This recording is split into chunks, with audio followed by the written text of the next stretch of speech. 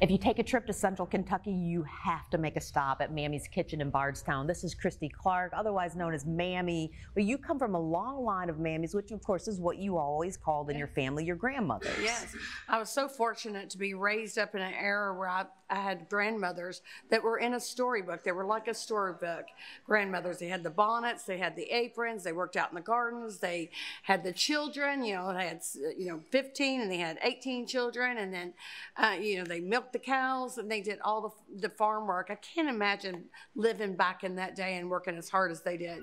And now you have five kids, but you also are a young grandmother. We call her more of a glammy mammy.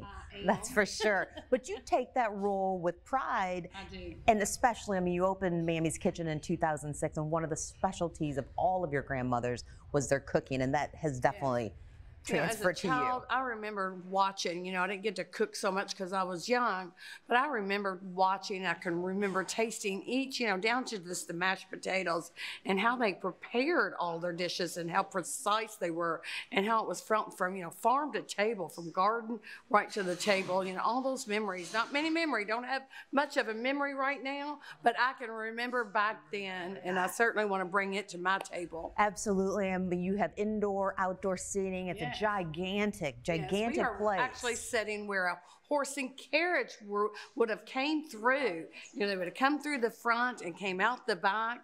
And so right here, you probably had a, a derby horse, you know, getting shoed. Now, you are also known, I mean, your food, all down home cooking, homemade from scratch.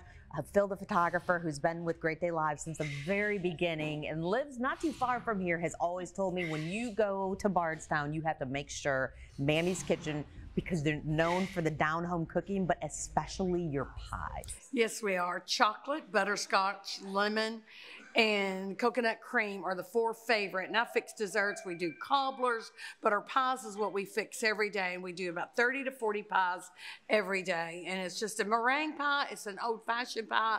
And it's from my grandmother's recipe book.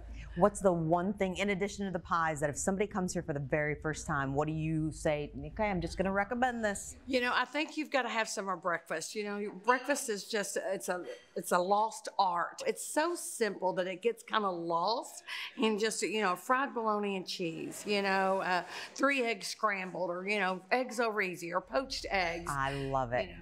Okay, Christy, if I want to pretend like I'm part of the Mammy's Kitchen family, you've got this saying. What am I supposed to say? Country cooking makes you good looking, and you're right here where it all starts. All right, country cooking makes you good looking, and you're right here where it all starts at Mammy's Kitchen.